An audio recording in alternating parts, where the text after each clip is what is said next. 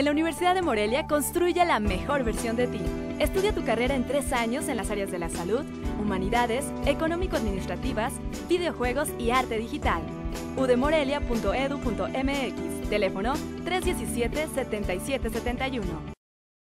En la capital michoacana fue asesinado el agente del Ministerio Público Federal, Tirso Trujillo Hernández. Fue alrededor de las 12.30 horas de este miércoles cuando se encontró el cadáver al interior de un domicilio ubicado en el fraccionamiento Ejidalo Colucen, entre las calles Fray Marcos Ramírez del Prado y Fray Julián Huitzili-Huitl.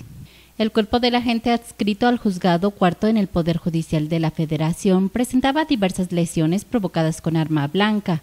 Las autoridades correspondientes de investigar el caso no descartan ninguna línea de investigación. Con información de Sandra Sáenz, informa Quasar TV.